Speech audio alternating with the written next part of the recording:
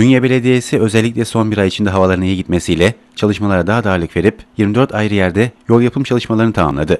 Konuyla ilgili açıklama yapan Ünye Belediye Başkanı Ahmet Arpacıoğlu yaptıkları çalışmaları şöyle sıraladı. Fevzi Çakmak Mahallesi'nde yeni okul geçidi ve Çiğdem Sokak, Çamurlu Mahallesi'nde Çiftekuyu Sokak, Akın 2. Geçit, Hacı Ömer 1-2 geçitler, Saray Caddesi ve Saray Caddesi Arayolu, Çınarlık Mahallesi'nde Yavuz Selim Sokak, Harmandüzü Sokak ve Yunus Emre İlköğretim Okulu yan yolu. Orta Yılmazlar Mahallesi'nde Hacı Osman A 1. Sokak, Atatürk Mahallesi'nde Tamtürk Sokak ve Yunus Emre Sokak, Liseler Mahallesi'nde Menekşe Sokak, Niksar Caddesi 1. Geçit, Ceylan Sokak, Menekşe Sokak devamı ve Lale Sokak. Saraçlı Mahallesi'nde Yurt 14. Sokak ve devamıyla Çoldur 1, 3 ve 4. geçitler. Saca Mahallesi'nde Niksar Caddesi 17. Sokak, Kaledere Mahallesi'nde Yeraltı Camii yolu, İpek Yolu Mahallesi'nde Şehit Mehmet Aksu Sokak, Kayalılar Sokak ve Beyoğlu Caddesi bağlantı yolları. Nuriye Mahallesi'nde ise Kavaktepe Sokak'ta yol yapım işleri bitirilmiştir. Bu bölgelerde toplam 25.100 metrekare beton parke, 3.600 metre bordür ve 2.822 metre su oluğu döşenmiştir.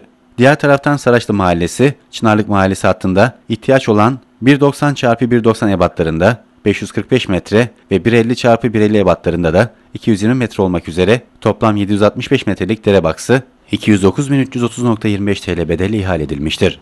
Gerek insan, gerekse çevre sağlığı açısından büyük önem arz eden bu altyapı projesinin yapımı da başlamıştır. Çalışmalar en kısa zamanda tamamlanacak ve bu güzergah üzerinde yaşayan hemşehrilerimiz 2011 yazından itibaren en büyük dertlerinden kurtulmuş olacaklardır.